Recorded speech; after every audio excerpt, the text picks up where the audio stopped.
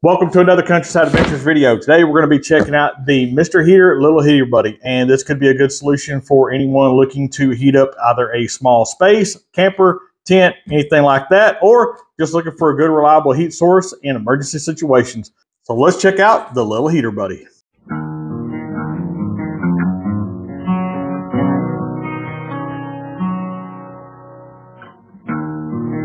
So I did pick up the Little Heater Buddy off of Amazon, and so as you go through this video, if this is a product that you might be interested in, there is an affiliate link down in the description below. But let's just start out by unboxing the Little Heater Buddy and see what this consists of, because this is actually my first experience with one of these particular heaters. Now, we'll go over that here in just a moment. SOG. So let's see what we have. So packaging looks really straightforward. So we just have instruction booklet on top. And so we basically just have a molded fit for the contents. Put that off to the side. Then we have what is obviously a stand for a one pound propane bottle. And we have handle to the top. And we have our actual heater. And then just a molded contents down the bottom. So I'll just go through this really fast, obviously, because this is actually what you want to see.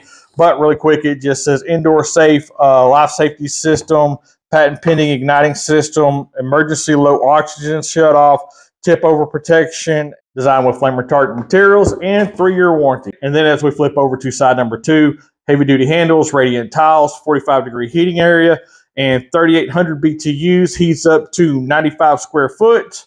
5.6 hours on a one pound propane bottle. We have an 8 inch tank base, reinforced wire guard at the front, and no electricity required. So that is the basics of what comes labeled on the box. And then we can just pull off, obviously, our plastic, get that out of the way.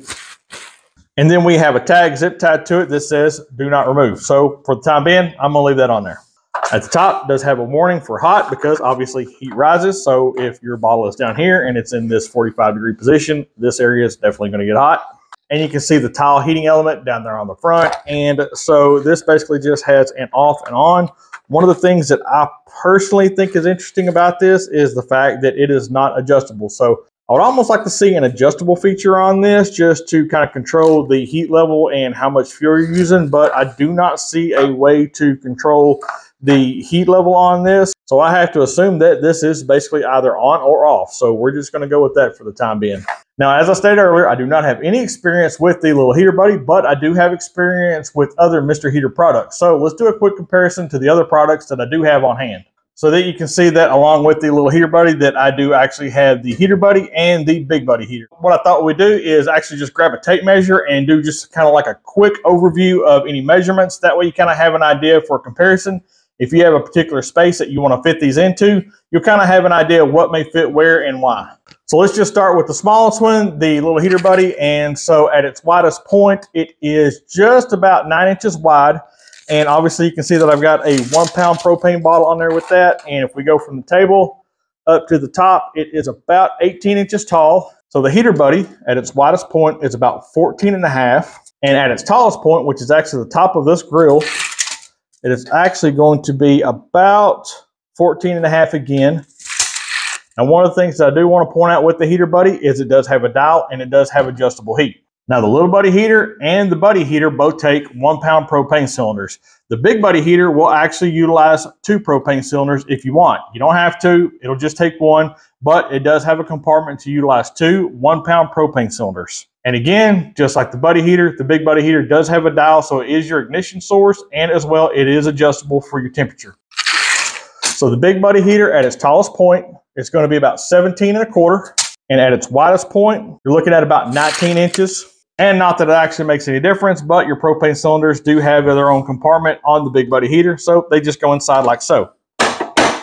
Now, one key feature to note on the big buddy heater is the fact that it does have a switch and a battery compartment. That way you can go ahead and have a small fan to move some of that heat around on the big buddy heater. And so one of my reasonings for picking up the little buddy heater is in the wintertime when Colin and I are hunting, we have a little Jayco 174BH, little bunkhouse RV, and it's like a little 19 foot camper. Definitely not very big, but it does have a little restroom facility and a place for us to get some sleep and eat a hot meal. And so one of my thoughts was obviously at night when we run the furnace, and that's what we're going to continue to do to be safe, is as that fan cycles for the furnace and we run the water pump and things like that, we're going to be consuming some of our electrical power out of our batteries. And so my thought was just during the day for hanging out, a lot of times I'll take my laptop, do some video editing, actually keep up with work that pays the bills. Colin can do some schoolwork, things like that. If we had just an extra heat source that we didn't have to run the furnace during the day or maybe late in the evenings, things like that, we could just turn this on, have a small heat source, no big deal. And then once it gets late, we can just turn this off, leave it completely off, and just go ahead and run the furnace on the RV. That way we have a safe source of heat. We can just have one or two of these small little one pound bottles. We can set this up, obviously, while we're awake. Not a big deal. We have plenty of warmth and we're comfortable. So that was kind of the thought process to picking this little heater up. And as a side note, but it's going to be completely dependent upon your opinion and how much money you're looking to spend, how much initial investment you want to spend. I think the one pound propane bottles right now at Walmart for the four pack are like 10 bucks. So basically you say right at 250 a bottle. And so for me personally, just over time, I have picked up a handful of these Flame King bottles and a couple of these filters. And I just like to refill the Flame King bottles off of our 20 pound propane bottles. Just saves a little bit of money. Now, there is obviously that upfront initial expense because these bottles are more expensive. But in the long run, I do feel that it saves a little bit of money if you go through quite a bit of these. So just a quick thought, if that's something you may want to consider, just want to throw it out there. So with that, let's go ahead and throw a filter on this and we'll see if we can get this little heater buddy fired up and see how it does. I'm gonna set that off to the side. And if you do decide to use the Flame King bottle and the filter combination, this is super simple. So it basically goes together just like any other one pound propane bottle combination. There is actually just a clear protective sleeve that goes over the little plunger and male end of that filter. So I definitely recommend keeping these. That way you don't get that little plunger damaged. So I always just like to keep those in the package. This just screws onto your bottle. And when you do this, make sure that you pay attention not cross thread it or that could be just me, but it seems like those brass and aluminum threads always have a tendency to want to try and start to cross thread, or it could be just my Viking finesse. I don't know. But just screws together. So there we go. Now we have a Flame King bottle and an inline filter. So ignition is just super simple. We just have on over here, it's red. We have off up top, and it does have some little clear cut instructions right there on the side. I hope you can get a view of this, but down at the bottom of that white tile is a small ignition source. And as you press it, it's going to spark. And once it sparks, you're going to have a blue flame come out. That blue flame is going to be your pilot. So you're going to hold the start for about 30 seconds. And what that's going to do is it's going to heat up a safety heating element. And then you can let off. And once you let off, that's going to heat up the rest of that tile. And so you can see that flame run across that tile. And now we're activated and we have full heat coming out of it. So I'm going to let this run just about 20 seconds, 30 seconds. And I may speed this up. I may not. I probably want to keep this in real time just so you have an idea. That way, if you're going out to like tent camping, a hunting blind, anything like that, you can kind of get an idea of exactly how fast you're going to have a heat source because you know, if you're in that kind of situation, it does truly get cold on you and you're like, I need heat now. So I kind of like to give you an idea of how long you're going to have to wait. So you can see now that our tile is completely covered in that red hue. And so I'm just going to use just an infrared temperature gun. I know it's not going to be super, super accurate, but I know it's going to be close enough. And so I'm just going to go ahead and get this on. And so now right now on my tabletop, ambient temperature is about 75 degrees. That should be pretty close to correct.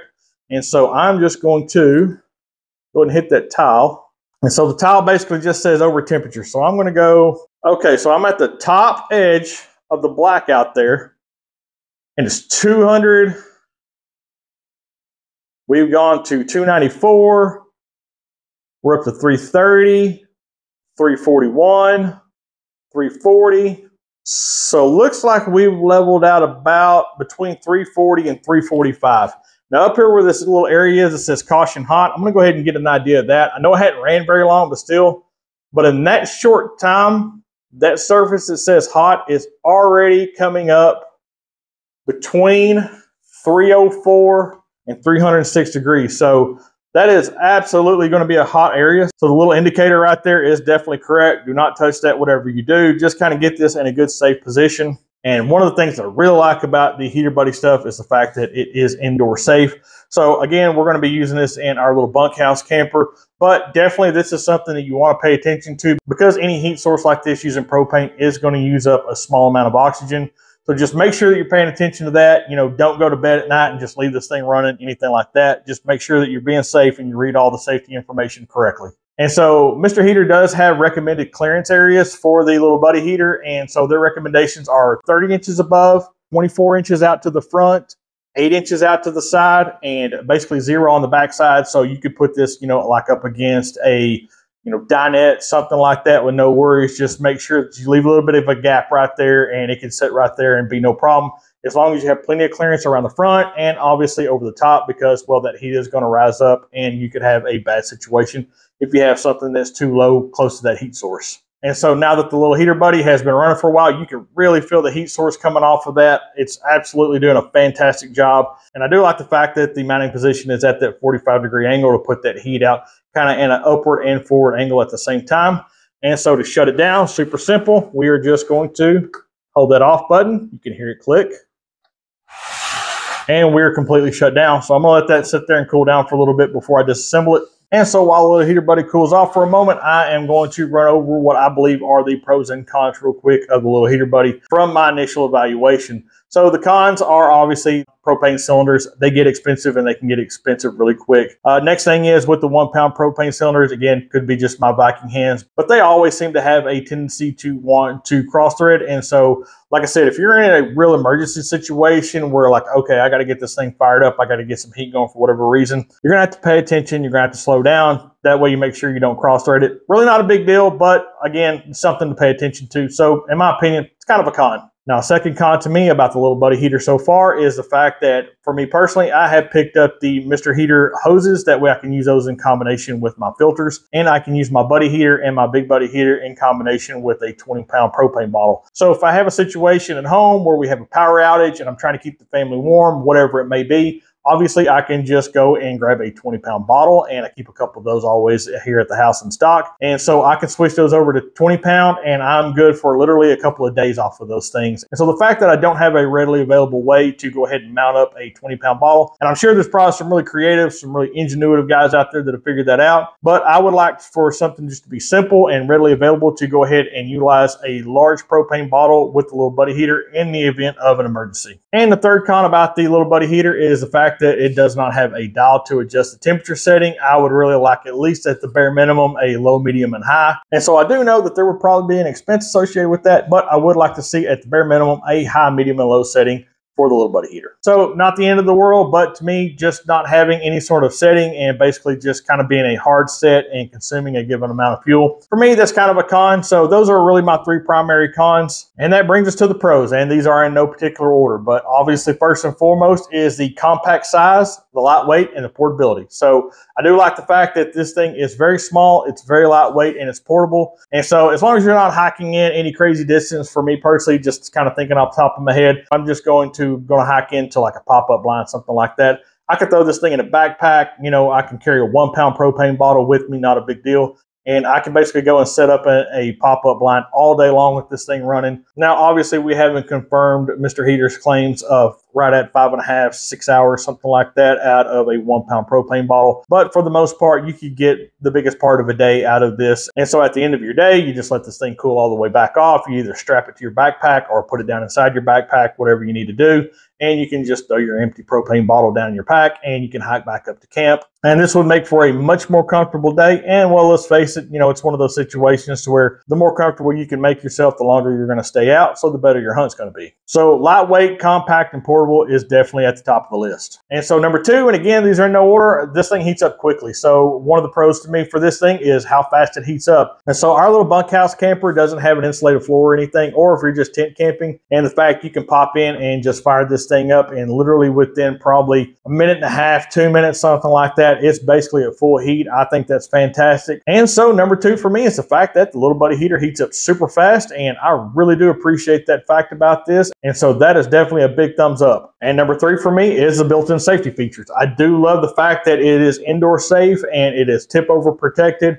And so it's one of those things to where if you're going to be either in an emergency situation or again, if you're doing anything outdoors, you know, say for Colin and in a camper, and for whatever reason this thing gets tipped over, whether it's the dog, the cat, whatever happens, the fact that this has an automatic shutoff, I really like that about it. And in addition to the tip over safety feature, the little buddy heater also has a built-in oxygen sensor. So you absolutely have no concerns about just completely depleting the oxygen in your environment. It will shut itself off and keep everyone safe. So for me, number three is all the built-in safety features and the fact that this little all-in-one system is indoor safe. And there you have it. There is a quick rundown, pros, cons, and a comparison to the other Heater Buddy products out on the market. And so this is my little setup that Colin and I are going to be using for hunting this year. And so if you're interested in any of the products that we've talked about in this video, there's going to be affiliate links down in the description. If you need anything that may get you through the winter or just want to be prepared for any sort of emergency situations with your family, you can go ahead and check that stuff out. Now with that, I really do hope you got some good information out of this video or I hope you just enjoyed hanging out with us. If you have, please do me a huge favor. Go ahead and hit the thumbs up, hit the subscribe button. And as always,